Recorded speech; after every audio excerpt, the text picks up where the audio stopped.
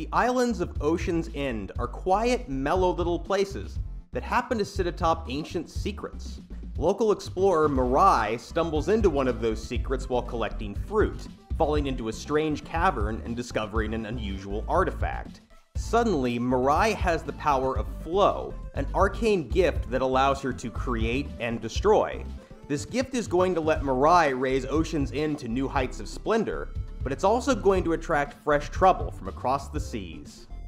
Flowstone Saga is an RPG puzzle hybrid with the player clearing lines to deliver attacks and counter enemy moves.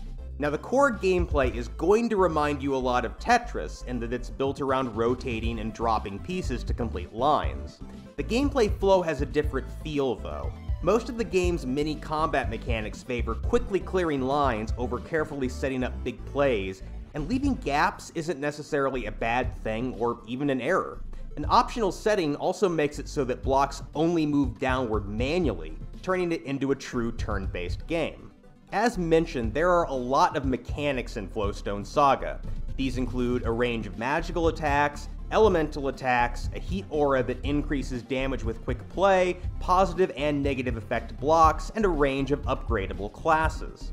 Combat itself is very forgiving on all but the highest difficulty setting, so it's no crisis if the player doesn't master every one of these mechanics. There's also a lot going on outside of combat. The same puzzle mechanic is used for a number of non-combat mechanics and side quests, including mini puzzles and resource gathering.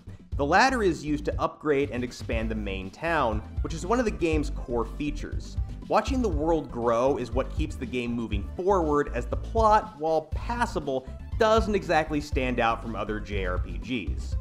Flowstone Saga is a very easygoing game overall. It might not satisfy the serious RPG fan, but it's a good choice for someone looking for a more mellow experience.